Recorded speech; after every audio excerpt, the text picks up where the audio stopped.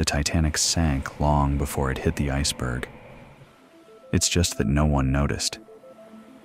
In the end, what was bound to happen happened. Because what sank it wasn't the ice, it was humanity itself. And this was one of the most expensive management mistakes in history. Yes, as you know, the Titanic movie told a love story. The truth, however, is a story of engineering, arrogance, and neglect. Even today, the sinking of the Titanic is often described as a natural disaster. But nature only announced the result. The cause had already been written by people. The year was 1912. The Industrial Revolution had ended. Steel, steam, and electricity had expanded the limits of life. Some people had begun to see themselves as superior to nature. Nature now seemed conquered by these advances there was a belief that technology could protect humanity. The Titanic was the embodiment of that belief, designed as the world's largest, most luxurious, and unsinkable ship. But that single word, unsinkable, would become the most expensive word in engineering history. Don't listen to this story as a tragedy of the past, because the story of the Titanic still continues in your own time. Even today, we are building new Titanics every day. Bigger systems, safer technologies, faster decisions. Yet inside all of them hides the same flaw the human factor. The ship's chief designer, Alexander Carlisle, had planned for high safety bulkheads. But the ship's owner, Bruce Ismay, wanted a more magnificent interior grand staircases, wide halls, luxurious cabins. All of that extra space was gained by cutting from safety. The height of the bulkheads was reduced to three meters. These walls, which should have extended above the waterline, could no longer contain the rising water. This simple design choice would later turn into a disaster, where every second mattered. The Titanic had the capacity to carry 64 lifeboats, enough for everyone on board but Ismay thought too many lifeboats would make the deck look ugly, so the number was reduced from 64 to 16. The total lifeboat capacity dropped to 1,178 people. Yet there were 2,223 people on board. In other words, before the voyage even began, half the passengers were condemned to die. The British Board of Trade which regulated safety, raised no objection.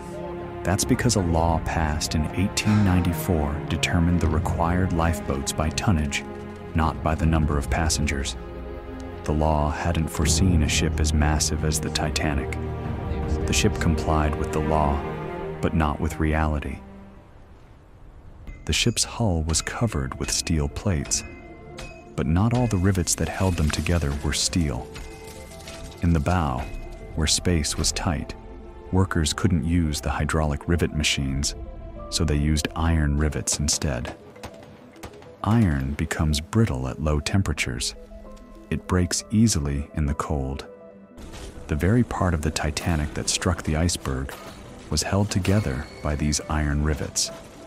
When the collision occurred, the rivets snapped. The ship didn't shatter, it opened up. In fact, later research showed that only five compartments were breached, but because the bulkheads were too low, water quickly spread from one to another. April 14th, 1912. The night was clear, windless, and the sea was glassy. The moon was nowhere to be seen. You might wonder, if the sky was clear, why wasn't the moon visible? That night, the moon was in its new moon phase, invisible from Earth. Normally, waves crashing against an iceberg would create foam and reflections, giving lookouts a visual warning. But that night, there were no waves, no light. The iceberg was almost invisible. Back when the Titanic was still in Southampton, a last minute crew change took place. Officer David Blair, who left the ship in haste, accidentally took the key to the lookout locker with him That small mistake meant the lookouts couldn't access their binoculars. No spare key was found. The lookouts had to scan the horizon with their bare eyes. In the dark, spotting an iceberg without binoculars was impossible. At 11:40 p.m., a lookout saw a silhouette in the darkness. The engines were stopped. The helm was turned. The ship needed 800 meters to turn. The iceberg was only 270 meters away. The Titanic didn't collide head on, but scraped along the side, the worst possible outcome. Five watertight compartments were torn open. The ship began taking in water at a rate of seven tons per second. The sinking process had begun. The Titanic had the most advanced wireless system of its time, but that didn't mean its communication was effective. That night, the radio operators treated safety messages as secondary. Six separate iceberg warnings were received. One came from the nearby ship SS Californian. We are surrounded by ice and have stopped. The Titanic's operator replied, Shut up, I'm busy. Hours later, when the Titanic sent out its distress call, the Californian's radio was already turned off. The nearest ship didn't hear the call. The distant ones did, but they were too far away. When the lifeboats were lowered, order completely broke down. Some were launched half empty. Many male passengers were told there was no room, though empty seats remained. Those in the lower decks couldn't reach the boats in time because of locked gates. Class determined survival. Lifeboat number one departed with 12 people, number seven with 28. Each could hold 65. The water was minus 2 degrees Celsius.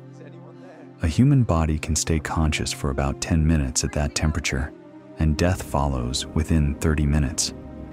When the rescue ship Carpathia arrived, the Titanic was already resting 3,840 meters below. Most who didn't reach the lifeboats froze to death. Of 2,223 passengers, only 706 survived, about one third. In 1914, the International Convention for the Safety of Life at Sea came into force. Every ship now had to carry enough lifeboats for all passengers. Radio communication was to remain open 24 hours a day. And the International Ice Patrol was established, still monitoring icebergs in the North Atlantic today. The Titanic sank, but humanity learned new standards.